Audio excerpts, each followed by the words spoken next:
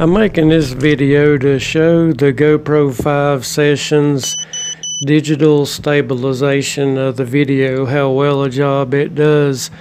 Watch, pay attention to the motors in the far left and right corners. The camera is firmly attached. Um, it's no, no movement at all to the camera, but the motors appear to be floating around like they're almost uh, on um, cloud or something. That's the digital video stabilization of the GoPro kicking in when you can see the motors floating around.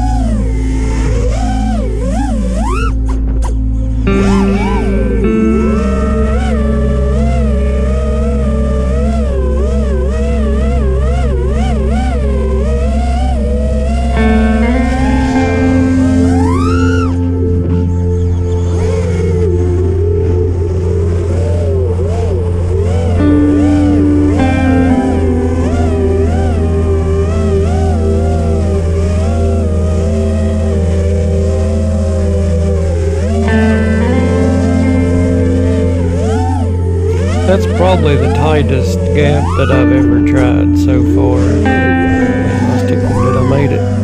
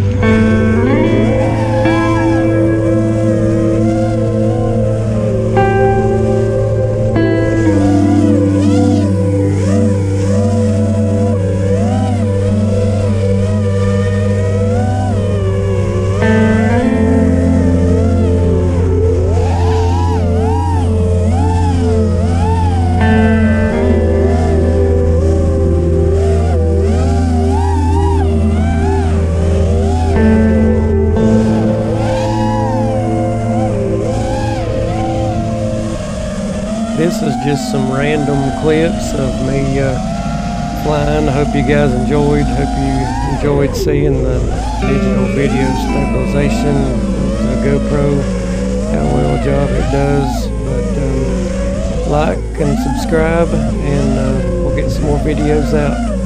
Appreciate you guys watching.